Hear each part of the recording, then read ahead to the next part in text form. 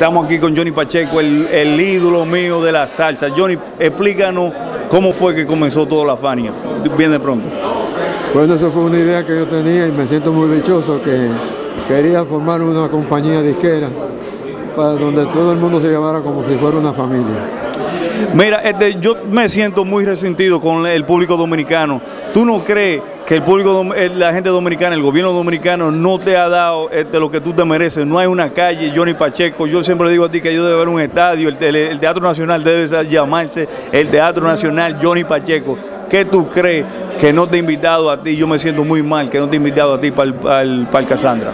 Bueno, actualmente hace unos meses estuve en la República donde me hicieron un reconocimiento del Senado y fue una ceremonia muy bonita. Pero, por ejemplo, ahí la cerveza presidente nunca me ha llamado para hacer un- una presentación. Y entonces los anuncios que yo le he hecho a Ron Bermúdez y a Brugal con el merengue que le escribí a Celia. Esa gente se olvida de uno. Mm, como siempre. Pero Oh, mira, estoy cumpliendo 50 ahí como director de orquesta. y yo espero que tú tengas 50 años más. Johnny, dime este, el que a mí me dijeron que, que tú eras boxeador, que te gusta, que te gusta mucho el boxeo. Explícanos la historia de cómo fue que tú te, te gustaba el boxeo y el, y el deporte tanto. A mí siempre me gustó el boxeo y me encanta. Yo boxeaba y a mí me decían Kid Lona. ¿Tú Y sabes lo que es el Kid Lona? Yo estoy, me siento muy feliz que tú decidiste ser músico en vez de boxeador. No, ¿Cuál? Me naquearon dos veces. ¿Eh? Me naquearon dos veces. Con el mismo boxeador. El mismo boxeador. me puso la nariz que parecía un panecico.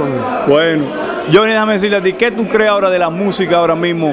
Que no hay música, que no hay un Johnny Pacheco ahora. ¿Qué tú crees ahora de la música del Toyo que hay, que se llama reggaetón? Bueno, ahora está sonando mejor que nunca. Pero yo, le doy- yo admiro a los muchachos eso porque saben improvisar, que es una cosa muy difícil. Y ya están tocando con melodía. Y es una cosa nueva, de vez en cuando hay que cambiar.